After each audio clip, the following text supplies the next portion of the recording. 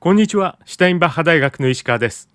ロシア海軍潜水艦の元艦長で、クラスノダール地方政府の動員部門の副部長だったスタニスラフ・ルジツキー氏が7月10日に射殺されました。ロシアの捜査当局はその後、セルゲイ・デニセンコ容疑者を逮捕したと発表しました。今日はこのことについてお話します。ロシア海軍潜水艦の元艦長が暗殺されたのはロシア南部のクラスノダールです。暗殺されたのはスタニスラフ・ルジツキー氏42歳です。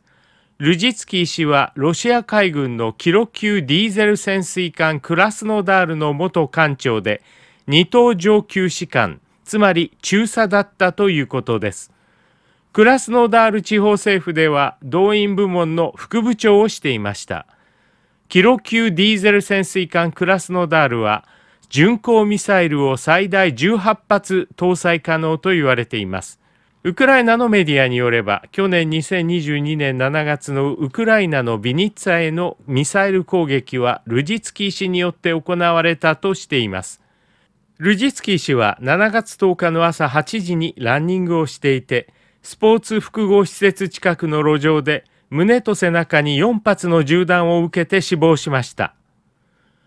ロシア連邦捜査委員会の発表によりますと、その後、セルゲイ・デニセンコ容疑者が逮捕・起訴されました。デニセンコ容疑者の自宅からは、事件の凶器とみられるサイレンサー付きのピストルが見つかったと当局は発表しています。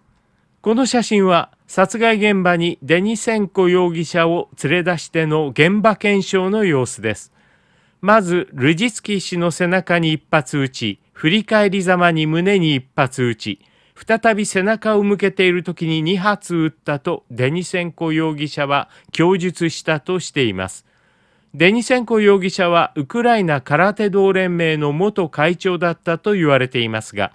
今回の事件とウクライナ政府との関係についてはまだ分かっていません。なお暗殺されたルジツキー氏が艦長として乗り込んでいた潜水艦はディーゼル潜水艦クラスノダールとする報道とディーゼル潜水艦アルローサだったとする報道とがありいずれが正しいのか分かりませんがクラスノダールもアルローサも NATO コード名キロ級ロシアでの表記はパルトゥース級で巡航ミサイルを最大18発搭載可能という点は同じです。念のためこの情報も付け加えておきます。今日はここまでにします。最後までご視聴ありがとうございました。チャンネル登録といいねボタンもお願いいたします。それではまた。